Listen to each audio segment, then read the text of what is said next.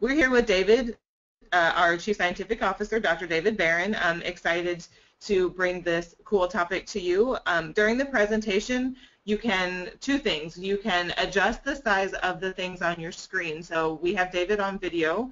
Um, he has, under some objective objection, agreed to be recorded today. I think um, we're trying a new thing with this, so you have him, but you also should have a screen that has our slides on it, and you can adjust the size of those two so you can see whichever one you'd like to see bigger. You can close one out, I think. So if you have any trouble, just send me a little note, and we will um, will I'll help walk you through that while David is talking. Um, and so also you can send me your questions and comments in that chat panel. You can also tweet it to us at, at PKD Foundation using hashtag Webinar Wednesday. Sarah's here with us and she will be happy to uh, hand any questions you have over to me and also will um, be tweeting throughout the afternoon. Um, we'll also have a Q&A at the end, so if you have questions, um, I may wait till the end to ask them.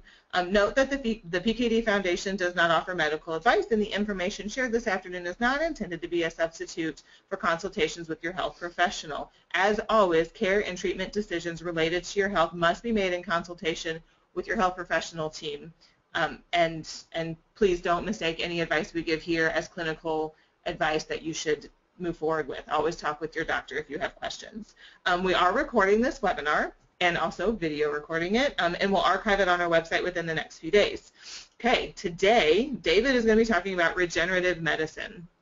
And I have to say, of all our topics, this is one um, that I'm very excited about. It's a really cool topic. It's a very exciting area of study, and although it's kind of still in the early stages, so we're, we're still learning a lot about this, it does give us a glimpse of what the future may hold for medicine and for treatments. So with that, I hand it over to you, David. Well, good morning and good afternoon, depending on your time zone. Uh, I hope you're more interested in the slides than my mug, but uh, uh, look at both if you wish. uh, this all started for me. I was uh, fortunate enough to be asked to participate in the National Academy of Sciences Forum on Regenerative Medicine last fall, and I was on the renal panel. Uh, there were panels on, on CNS and the brain, the heart, and other organs.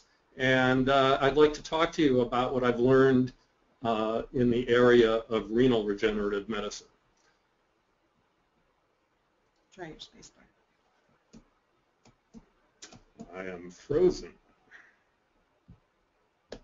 Ah, there we go. So what is regenerative medicine?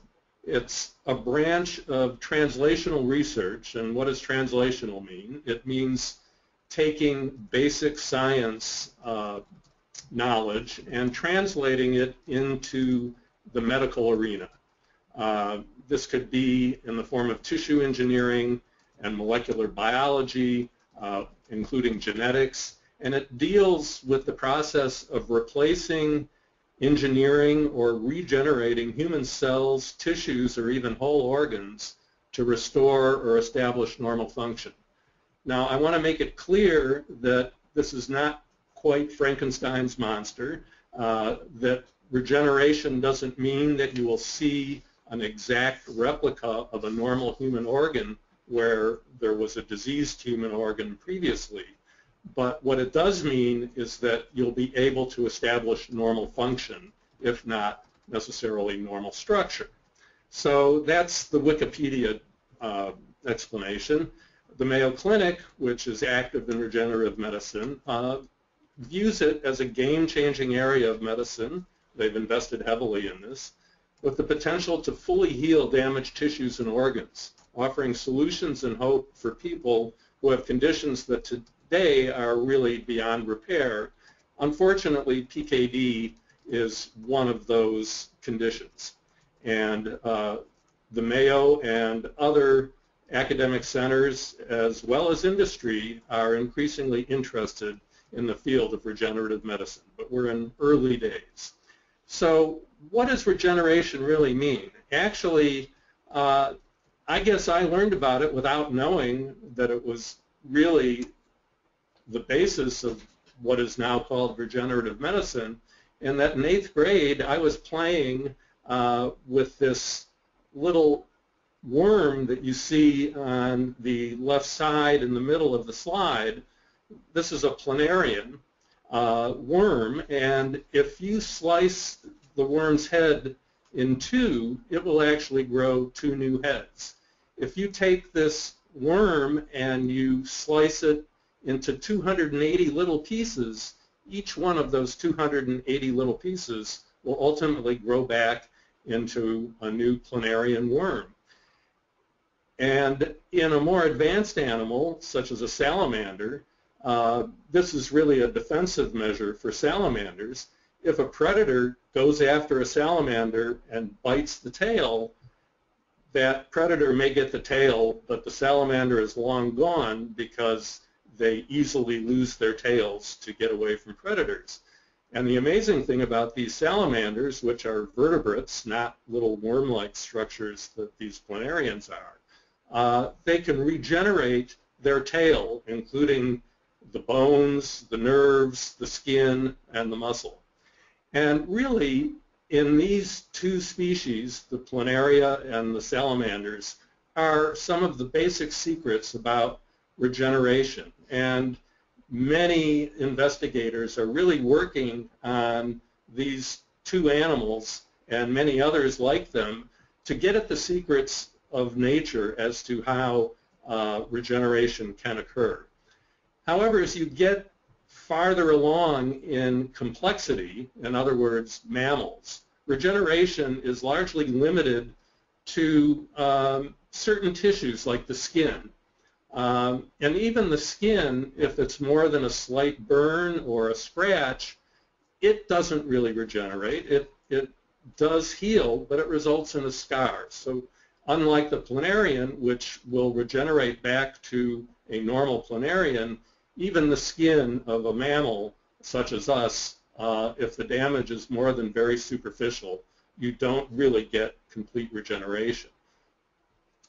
So as I mentioned, the human skin regenerates actually on a daily basis. You leave a trail of dead cells uh, at the shower in the morning or when you scratch or they just are shed off the surface and they're constantly replaced by dividing and differentiating cells below the surface of your skin.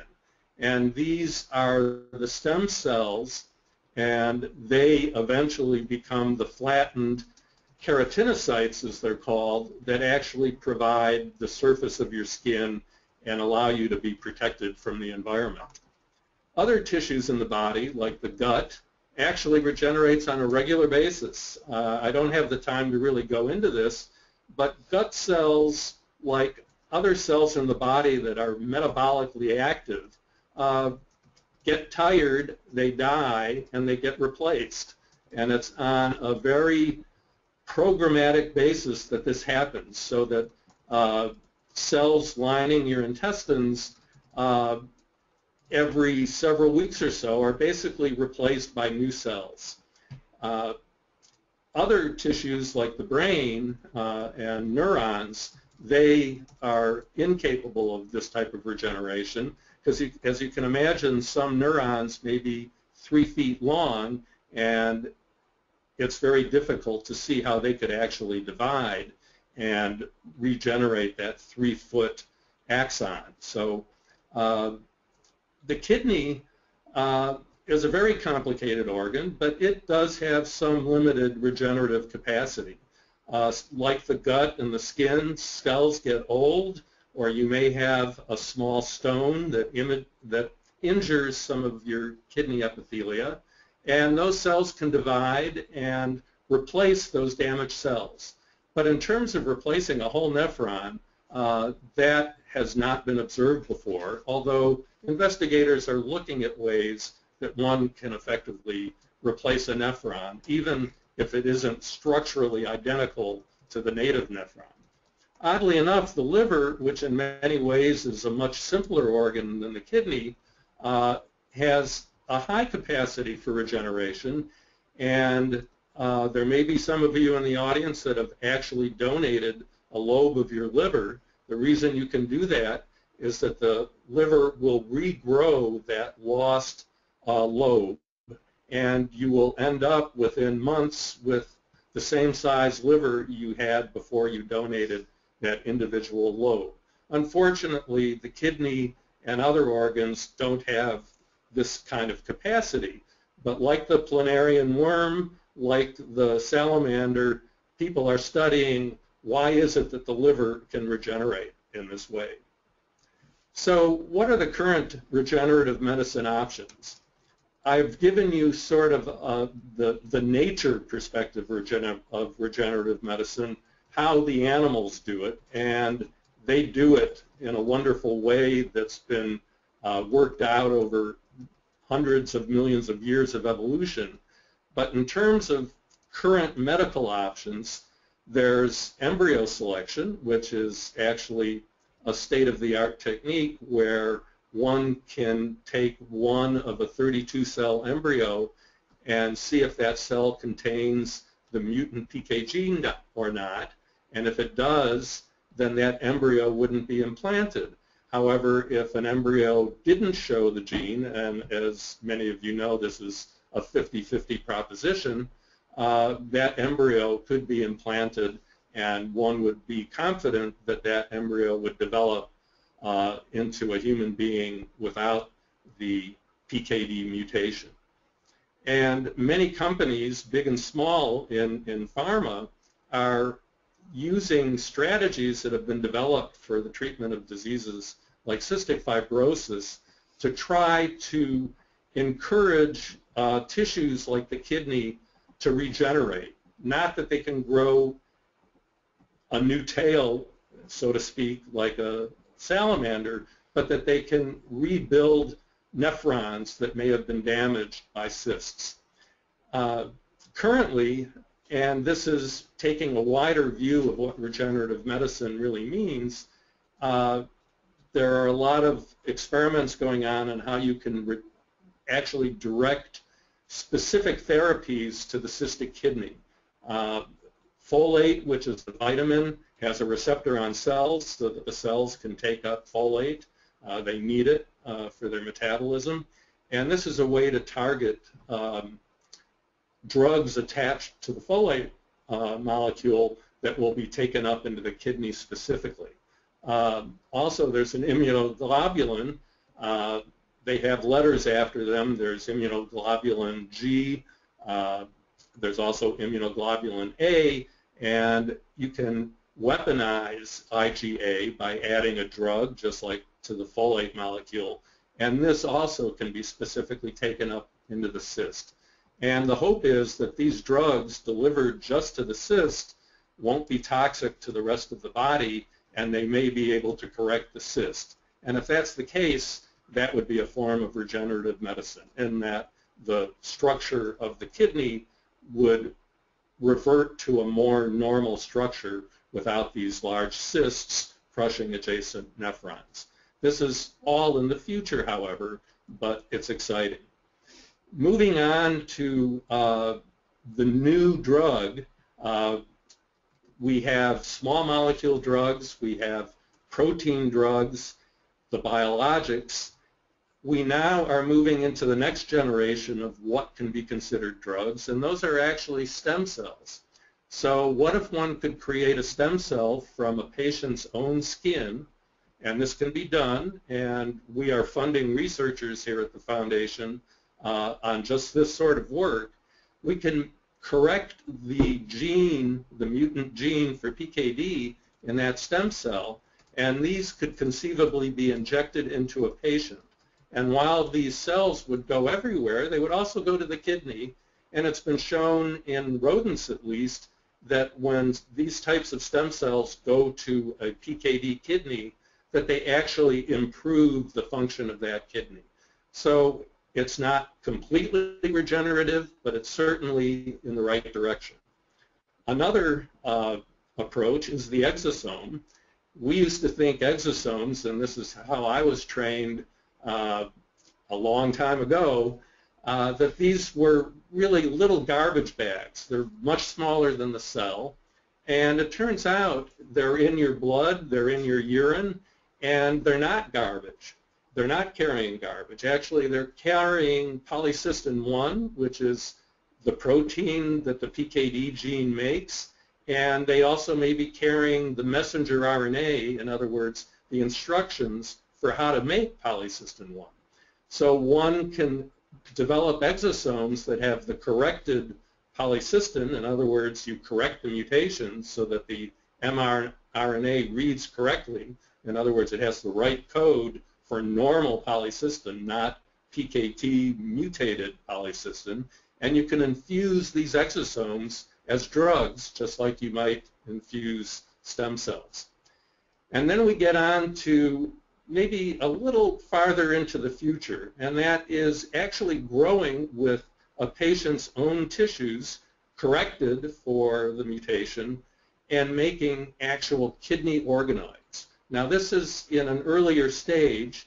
Uh, somewhat functional organoids have actually been created, but they don't necessarily contain all of the parts of the kidney. In other words, they may not have a glomerulus, they may not have uh, a tubule that actually secretes the urine, and even if they did, where would they secrete that urine to?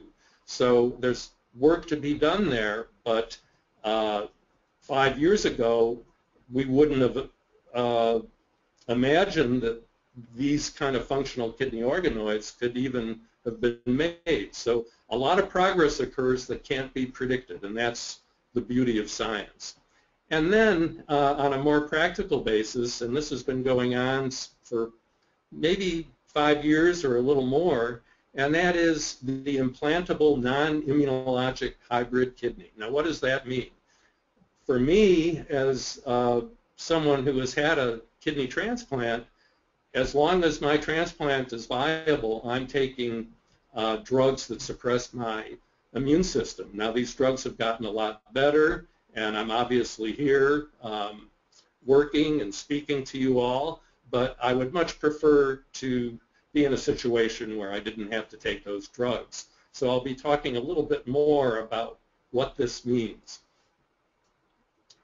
Uh, going on to other regenerative medicine options before I get back to that hybrid artificial kidney is there are people actually working on humanizing pigs of all species and you can have a xenotypic transplant. So in other words, a genetically modified animal host that you can grow what is in essence a humanized kidney. Uh, that is long in the future, but uh, there is a lot of research in that arena.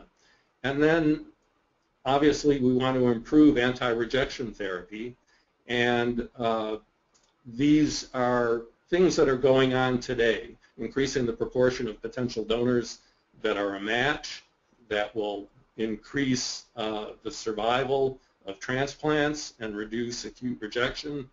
Uh, is this really regenerative medicine? Uh, in a sense it is because it allows a transplant not to be attacked by Im your immune system and all transplants are attacked to some extent. So this really is looking at, at keeping and replacing your renal function uh, with minimum intervention by toxic immunosuppressive drugs. And then we get into uh, the Star Trek type of science, and that's nano-sized directed robots injected into your blood that could actually in situ, meaning in the organ itself, actually repair structural anomalies. So exam for example, if you had a tubule that was blocked, conceivably you could have a little robot that had a little drill sized microscopically that could actually get rid of blocks in a kidney tubule or, for example, in a coronary artery to prevent a heart attack. Uh, you can also direct gene therapy uh, to specific organs, maybe via the exosomes that I just talked about, and we've talked about autologous stem cells. And the other exciting thing that's going on is making a synthetic organ scaffold. So what if you were able to take a kidney and remove all the cells but keep the connective tissue? Because all of our organs are not just cells. They contain collagen, um, and this creates the scaffold for the kidney. And then you could populate that scaffold with normal cells rather than diseased cells. And it would be possible then to take that autologous tissue and actually transplant it into the patient. So again, we're talking sort of Star Wars, but the reason that it's not is this type of research is actively going on, and in some cases, these types of experiments have actually been completed successfully in animals. So what about the implantable artificial kidney? Uh, this would have wide applicability to kidney diseases. It perhaps might even be better for other kidney diseases than PKD, and I'll get into that in a little bit, but it would still be a great advance. And the promise clearly is the avoidance of dialysis. Nobody wants to be on dialysis. And the pe reason people are on dialysis, for the most part, is there aren't enough kidneys for people who need kidneys. So the promise of an implantable artificial kidney is that there's only one human that's actually required, and that's the patient. So you don't need a living donor, you don't need a deceased donor, you just need this implantable artificial kidney. Yes, it will involve surgery.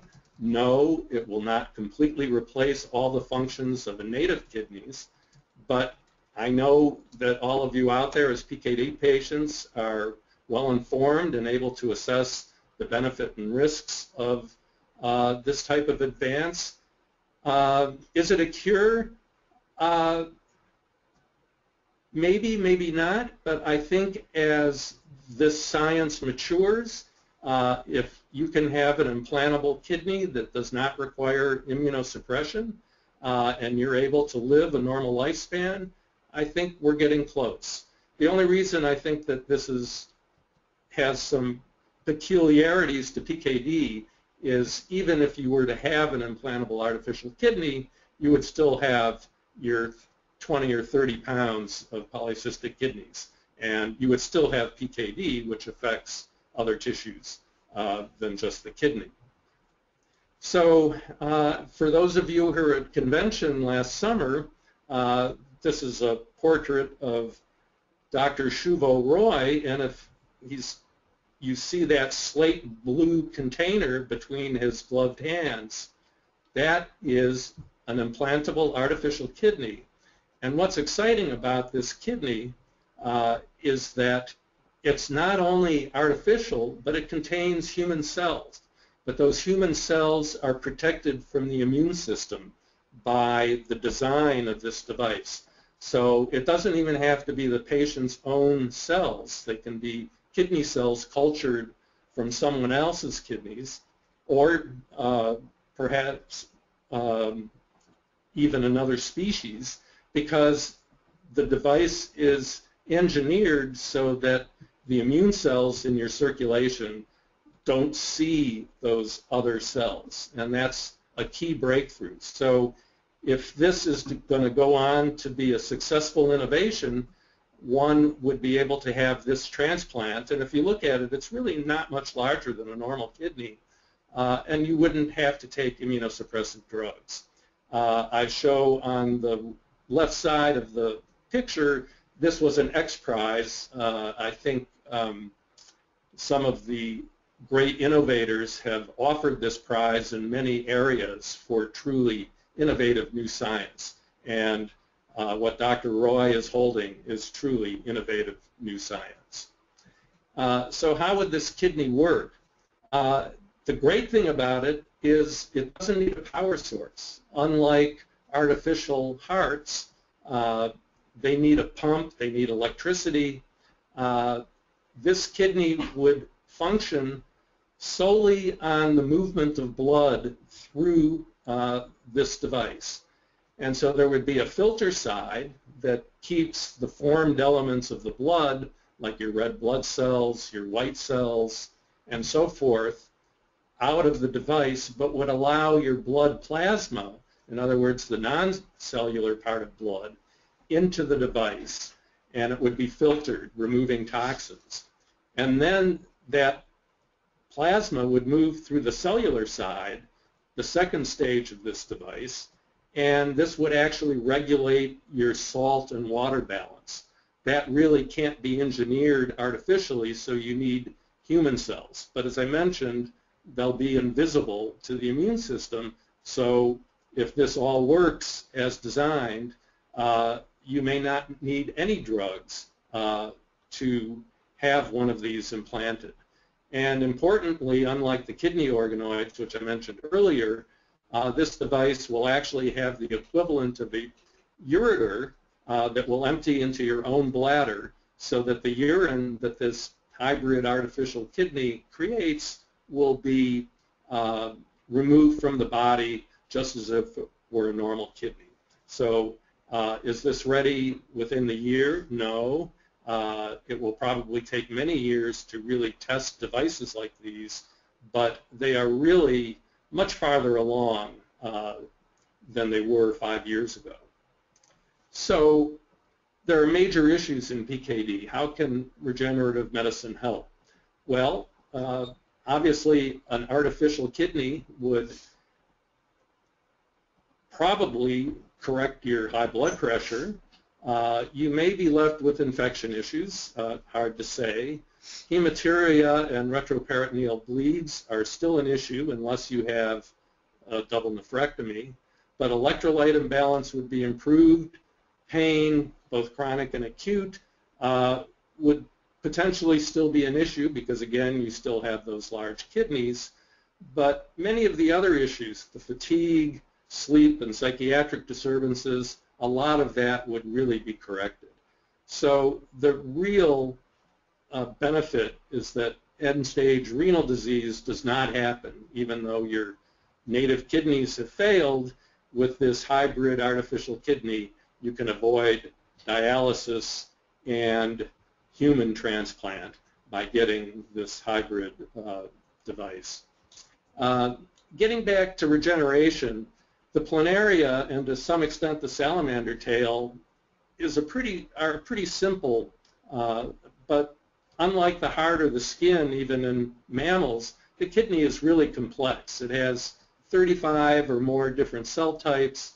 If you look at it, to me it's a beautiful structure. You can see on the outer surface the cortex, the inner medulla in yellow uh, are some of the fat cells that are associated with the kidney, the red artery going in, the blue vein going out, and the pale yellow ureter getting rid of the urine. So I think we've discussed a lot of the ways that we can restore kidney function that's lost during the progression of polycystic kidney disease.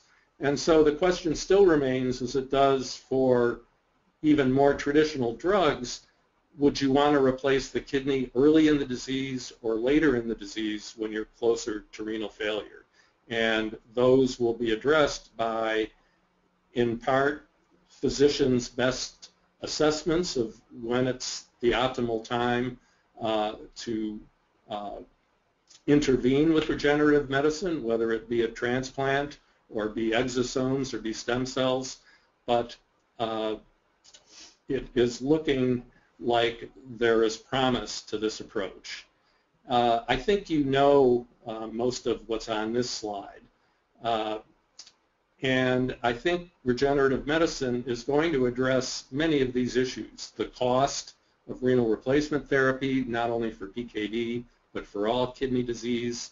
Um, the regulatory path for an artificial kidney is going to be a tough one, uh, but these types of issues are being worked on. So is the glass half empty or half full? I think it's more than half full uh, based on what I've seen in just the last five or so years. So ideally, regenerative medicine will prevent the onset of end-stage renal disease, not just for polycystic kidney disease patients, but for all chronic kidney disease patients, and therefore eliminate the need for renal replacement therapy. Um, and by that I mean traditional dialysis or conventional human kidney transplant. But the kidney, other than the brain, is one of the most complex organs in the body. So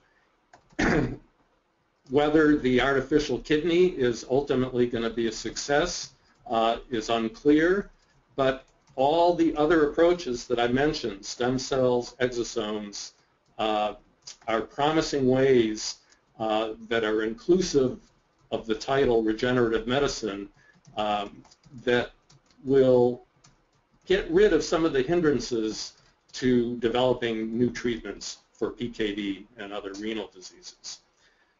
The issue still remains all the pathways in the kidney. I said there are 35 plus cells. There's probably 10 times or 100 times that many pathways within those 35 different cells, all of which can be involved in disease. I obviously don't expect you to read this. I'm staring at the slide. I can barely read it. But this is what companies are dealing with. What do you put in an exosome? How do you program a stem cell? It's all related to all these mechanisms. So this type of research needs to go on as well. And this type of research may lead to drugs that mitigate the effects of PKD. They may not be called regenerative medicine therapeutics, but we have to be working not only on regenerative medicine, but also on therapeutics that are more traditionally drug-based. And it may be a combination of both regenerative medicine and pharmacology and pharmaceuticals uh, that provide uh, a high quality of life without fear of end-stage renal disease. So in conclusion, regenerative medicine offers the possibility of tubule regeneration and cell repair. I didn't talk much about tubule regeneration. That's, that's a tough one. But in the kidney organoids uh, that have been created, there is some evidence that you can grow tubules. Uh, that's a start. It's not a whole nephron, but it's a start. And that research is also being funded by the foundation. There's also, and some of you may have seen these, they look like very complicated uh, inner tubes that you would wear to the beach. Uh, they're wearable kidneys, and the advantage is that your blood is being cleansed on a 24-7 basis, but quality of life would be uh, an issue. And remains to be seen, A, whether they can be made to work uh, reliably, and B, is the quality of life uh, truly better than having to go in for dialysis three or four times a week. And then we've talked about the hybrid implantable kidneys uh, that Dr. Roy and his colleagues at Vanderbilt are working on. Um, we'll see where this gets. And obviously, uh, if we see a lot of movement in this arena, you'll either hear from me or someone like Dr. Roy on advances being made in, in this arena. And as I mentioned before, this is probably applicable to you know, most chronic kidney diseases, and that really will free up a lot of Medicare funds that can be used uh, in much better ways. So the promise is avoidance of dialysis or human transplant where you need immunosuppression. And I know that at least in the PKD arena, we have well-informed patients that are able to assess the progress that's being made by physicians and scientists in regenerative medicine. And I think we'll even begin to see that other manifestations of PKD uh, that are common post-transplant may even be corrected by some of these stem cell therapies. So all in all, uh, I think the future is promising. We're seeing more companies than we used to interested in the PKD space, and we're seeing more clinical trials. So between uh, the science, uh, the future of that science, and the interest of pharma, both big and small, I think uh, things are, are looking up for uh, the eventual effective treatment of PKD. And with that, I'd be happy to answer your questions. And questions we have. Yeah. Um, so where to begin? So there are quite a few questions about the um, implantable artificial kidney. And I think one that was asked multiple times is, um, you know, if you've already had a transplant, or you're you're sort of past that point, would this artificial kidney offer any benefit to you? Uh, I think that's a, a physician type question. If you have a, a well-functioning transplant, I would think you'd have to think hard about the benefit risk of yet another surgery. Uh, if you had a failing transplant, however, and a second human transplant was not possible, I certainly think that the hybrid artificial kidney is is a you know assuming that it becomes uh, a producible product uh, is definitely an option. So then extending that, um, some people who have PKD maybe don't begin dialysis or don't have um, symptoms that will require a transplant until later in life, until so maybe 70, 75 years old. And we know um, if you're at that stage, it's a little more difficult or a lot more difficult to get um, to be eligible for a transplant. So would something like this artificial kidney be an option for a person like that? So that's a great question, and I think I may have answered it in code. um, obviously, kidneys, because they are such a precious commodity, uh, are allocated to younger patients where the lifespan of that transplanted kidney is going to be much longer. But it's also been shown that even people in their 70s benefit significantly from transplantation. It's just that they're not high on the list for kidneys. However, a hybrid implantable kidney, assuming you're healthy enough to undergo the surgery, uh, I think uh, could potentially be an alternative to the shortage of kidneys specifically for the elderly, but for everybody. Uh, even if you're young, uh, if you do not have a living donor, you may be on a list for many years. So yes, I think one of the great um, hopes for a implantable hybrid kidney is that it will relieve uh, the waiting time that patients undergo for not only a kidney, but a kidney that matches. So taking this to the next step, aside from the implantable kidney, if you've had a transplant, if you are maybe at an age where transplant, maybe you're of a, at a health level, you're not healthy enough to receive a transplant or have a surgery, would any of these other regenerative uh, medicine options, ideas that you've suggested, be helpful to that group? So this is at a much earlier stage. I was really excited by an article that appeared in 2012. Uh, this was in a PKD rat model where cells and exosomes, both of which I talked about, were injected into a PKD rat and the cells and exosomes were from a normal rat. And the kidney function in those PKD rats actually improved, even though the scientists doing the study showed that these cells and exosomes didn't specifically go to the kidney. They went everywhere, but they didn't appear to have any toxic uh, effects, and kidney function was improved. Not replaced, it wasn't normal, but that to me means that there's some promise so that even if you're too old for a transplant or for whatever reason uh, surgery is not an option, it may well be, and this again is looking far into the future, that cell or exosome therapy may be applicable.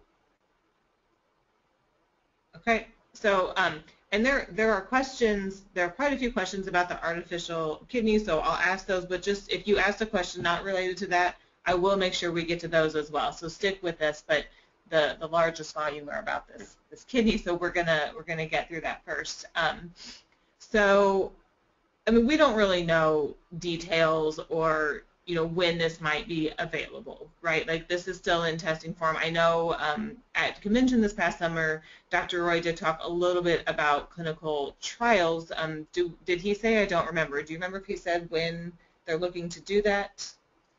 I think they're they're close. Uh, I don't have um, knowledge of when the first transplant, so to speak, is is scheduled. I assume there's a lot of discussion between uh, the universities and the FDA. Uh, much of this uh, has not appeared in the literature, so it's hard to say at what stage it is. Uh, but we will keep you updated as we find more about it. So I will say that someone who was at convention um, actually just popped in and said that uh, they thought he said the end of 2016 would be when they would be in clinical trials, and I don't, um, to my knowledge, they're not yet there. So obviously they were a little bit, uh, they're a little behind on that, but that's okay. We would rather them be on top of it and make sure that it's ready before it goes into a human. Yeah, and I would have to say that even with something like a simple drug, uh, delays are commonplace, unfortunately. Or fortunately, because when safety issues arise, you have to address them. So uh, I don't know that there are any uh, particular issues about this kidney other than uh, being first and uh, dealing with the regulatory authorities. Uh, you probably can't pin down a date, but if he had said 2016, I wouldn't be surprised if we see some movement this year or next. Um, so someone is asking um, with the implantable kidney, um, what they're saying, won't you still be left with minimal kidney function, maybe 5 to 10 percent?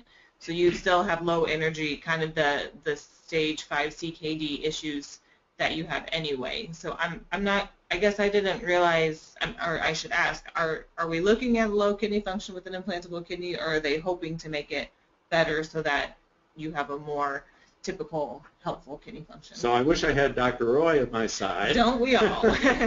but uh, you're you're absolutely correct that the problem with dialysis is that it really restores about 10 to 12 percent of normal kidney function.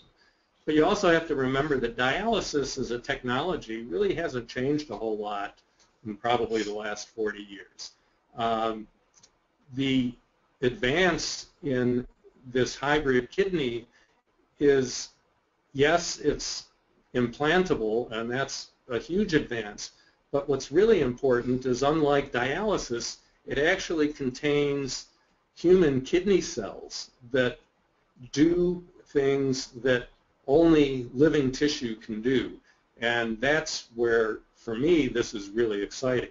That it's not just a mechanical device, it's a mechanical device with human cells that do things that just can't be engineered at this point. So I think the promise is that renal function would be better than dialysis. Okay. Um, see. So really, I mean, pardon me, of course we all just want to know when this is going to happen, when we might get it. Um, we just, I mean, it's hard to say right now. Once, you know, once it's in trials and it is, you know, if it goes well in human trials, then they still have to move along to FDA approval, things like that, right? So that takes more time. Yeah, so if one looks at, um, for example, artificial hearts, uh, you know, the first patient didn't survive very long. Uh, it takes a lot of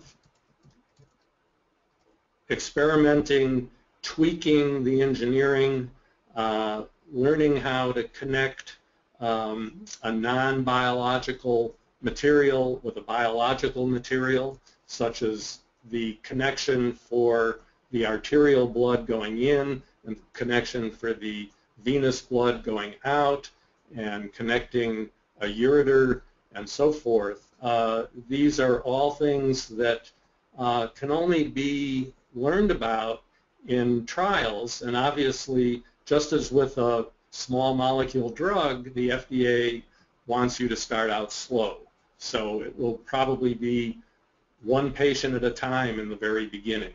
And if it proves to be tolerable and successful, then larger studies will certainly follow. Okay. And then someone's asking about um, like what would the surgery be like? Um, someone else is asking if filters would become clogged, would need to be replaced, and I think these are all questions that we just don't know yet, and that's why trials are important, especially these very small trials. Um, you know, so understanding, you know, how long, how long it will last, and all of those things. That's we we don't know, right? Yeah. In term, if if you looked at it, uh, and it's not being really any larger than a regular kidney, I think the transplant surgery would probably be fairly similar to what's currently done with human kidneys. I mean, it's basically you have to connect the artery, the vein, the ureter, and uh, the device is small enough to fit in, into the ab abdomen or pelvis. Uh, the filter, I think, is designed not to be clogged because it is really allowing uh, flow without the types of materials that would clog it in the first place. Now, nobody can predict that. Uh, the other question is how long will the cells live in the cellular part of this apparatus? But there's no reason to think a priori that they won't do well because they'll be receiving oxygenated blood and nutrients just like the rest of the body does. So um, there, there's reason to be at least rationally optimistic about the potential for this to work, but uh, we've got to wait and see. And you actually answered a question before I even had to ask it about how long the cells would survive, so thanks. You're, we're, we're getting good at this, David. I don't even have to ask, and you know what I'm going to say. Um, okay, moving away from the um, kidney, in, implantable kidney for a bit, Someone is asking, with the IgA targeted drugs, would that still leave giant holes that are non-functional where the cysts once were? Uh, good question. Um, one possibility is that the cysts might collapse depending on the therapeutic that's attached to the IgA molecule. Uh, it may cause them to reverse their polarity. In other words, instead of, instead of these cells secreting into the cyst and making them larger, that they, the fluid goes the other way into the what's called the interstitium of the kidney, where it can be absorbed by blood vessels and the lymphatics, and uh, the kidney would actually get smaller. Uh, obviously, it depends on the type of drug that's attached uh, to IgA or to folate, uh, but the intention, I think, would be uh, to decrease the size of the kidney. Okay, so now, and I'm not sure I fully understand this question, but I'm sure you will. Um, if injected through IV, what percentage of exosomes or stem cells would be expected to reach the tubular epithelia? I think this was kind of back while you were talking about that? That's a great question. So the, the simplistic answer is with each heartbeat, uh, the kidneys are a huge consumer of blood. About 25% of the cardiac output goes through the kidneys. And if you think about it, that makes a lot of sense. So if you were to inject a therapeutic, um, let's talk about a small molecule. Uh, it's going to see the kidney. Uh, cells and exosomes are going to see the kidney as well.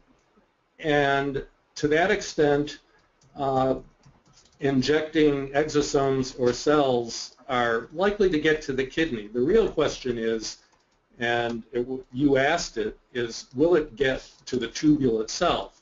Because the blood vessels are outside of the tubule.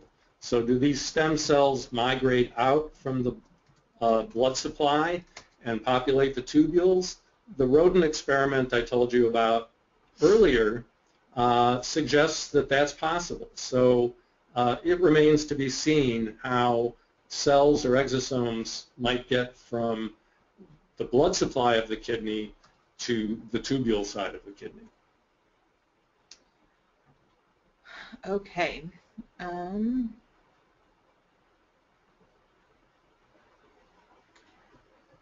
I think actually I'm trying to make sure we've got, okay, here's one about, uh, we're still getting more about the artificial kidney, but I want to make sure we get the other questions answered as well. So, and I'm not familiar with a technique called origami assist in the region. So what, are you familiar with that technique? I used to do origami as a child. um, we, we may have to do a little bit of research on origami assist in the regeneration process, um, or the person who asked that question, if you can offer a little bit more information. Um, but they're asking, with this technique or the method of 3D printing, connecting with tissue assist um, with replacement kidney, like, is that, and I think you did touch on that a little bit, is that something that might be helpful in this field? Yeah, so uh, we talked a little bit about uh, kidney organoids. Uh, 3D printing or providing a matrix for those organoids to sit in. Scaffold that mis- you talked about. Mispronouncing it, giving it a New Jersey accent. Organoid. but, we'll have to tell Dr. Freedman that and see what he says yes, uh, 3D printing holds the promise for creating the right scaffold. So, uh, you know, building a kidney is complicated because I showed you that cross-section of a kidney. Out in the cortex, the salt content is pretty much like your blood, but deep in the kidney, it gets very concentrated. So that scaffold requires a lot of deep thinkers onto how to get the right cells to go to the right place on that scaffold so that you can uh, have a functional kidney that's actually able to regulate the salt load in your blood. But great question. Yeah. Um, so would nanotechnology help with reducing the cysts? Could this nanotechnology transfer medication directly to the cells that are creating the cysts, or I will take it one step further to even on a genetic level to prevent the cysts from ever starting to begin with? Um, so the probably what I came least prepared to talk about is nanobots. But you brought it up, so I, now we get to ask. I, I certainly my expertise comes from movies about uh, nanotechnology. I think along with IgA and folate, uh, the, the big issue with nanotechnology, and really the IgA molecule was at a nanoscale anyway, uh, is how to target those uh, you know, uh, nanobots or nanomachines to the kidney specifically. And I have the feeling that some of the same type of thinking that goes into using IgA as a delivery system or folate as a delivery system, that there will be other ways that nanotechnology or nano devices in the bloodstream can be directed to the kidney. But I'm, I would not say we're talking science fiction because I don't think it's fiction, but we're certainly talking the future. Futuristic. Yeah. Um, okay, and this is a great question, and I think something that um, will kind of help inform sort of a bigger picture thing. So I've had several questions about, you know, artificial kidney or some other um, method. Would you still need to keep your native cystic kidneys intact, even if you have an artificial kidney or if you're able to, um, you know, re- renal replace some other way or whatever? Um, and also, if you got that and you do get rid of your native kidneys, would that mean that you're done, you're cured of PKD? Well, um, I didn't stress uh, the systemic nature of polycystic kidney disease. Uh, in some ways, we do ourselves a disservice because everybody thinks immediately kidney. But even with a transplant, even with a hybrid implantable kidney, you still have PKD. That means that the mutation is basically in every cell in your body except perhaps red blood cells and platelets, which don't have nuclei. So um, the other issue with the first generation of hybrid implantable kidneys, I have the feeling, is that cells in the kidney produce erythropoietin, which is a hormone that tells your bone marrow to make red blood cells. And I have the feeling that in the first generation model, the cells that are helping your salt balance may not be the same cells that are producing erythropoietin. So that these hybrid implantable kidneys will not replicate one for one every function of the kidneys. The kidneys do a lot of things, a lot of subtle things, and uh, those will have to be dealt with.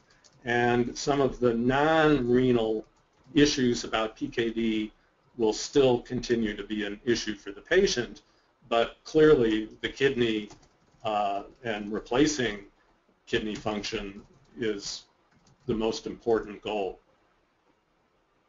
Okay, um, so it is almost time. Um, I think, I mean, let's see, one, we've, you know, even if I didn't ask your question directly, I, I believe I've asked all questions in some way, so you should have gotten the information. Um,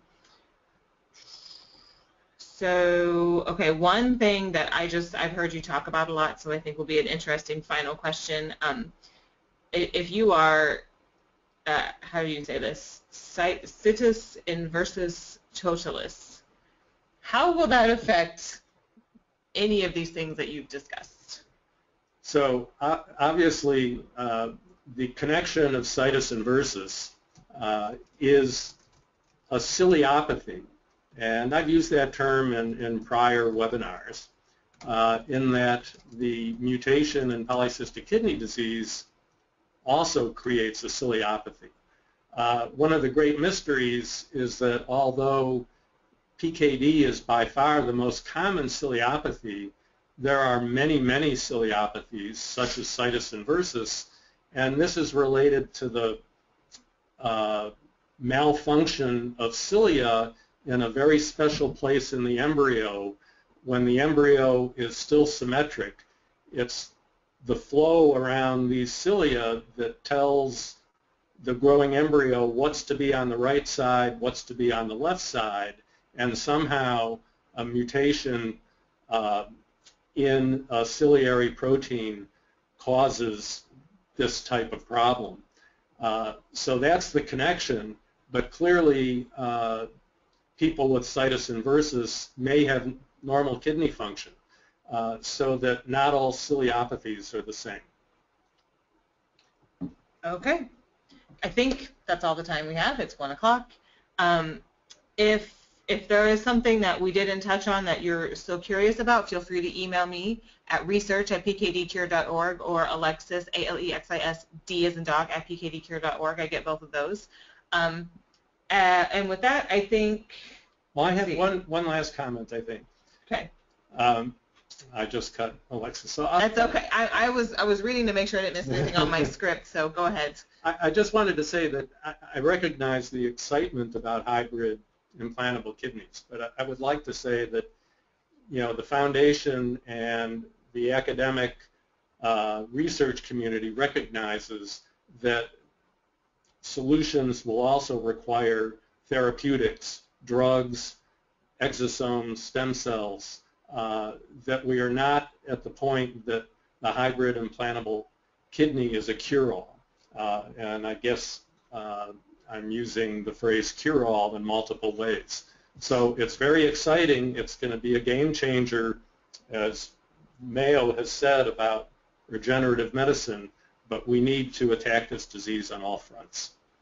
Absolutely, and I will follow that up by saying that um, some of our current research that we fund, especially the work that Dr. Benjamin Freedman is doing, um, and others are uh, sort of along this line and it, taking the first steps into this area. So just be sure to stay in tune with what we're doing, support us if you're able um, through gifts to the foundation, um, and definitely uh, stay tuned because every every month, every year that goes by, we're going to get closer to these kinds of things and also drug therapies. Um, so we, we look forward to talking with you more in the future. Um, everyone saying thank you um, and happy kidney anniversary to Karen who just told us that today is her sixth transplant kidney anniversary. So happy kidney anniversary to you. And with that, thank you so much for participating in our webinar. Thank you, David, for this really interesting and important topic. Um, let us know if you have any questions. We will send you an email later this week or early next with a link directly to this talk. We did record it, so if you want to send it out to family members, we'll send you that link in an email and also a survey, so please be sure to fill out that survey. Let us know what you think and if there are topics that you want to hear about in the future. Uh, have a great day, everyone, uh, and we'll talk to you next month.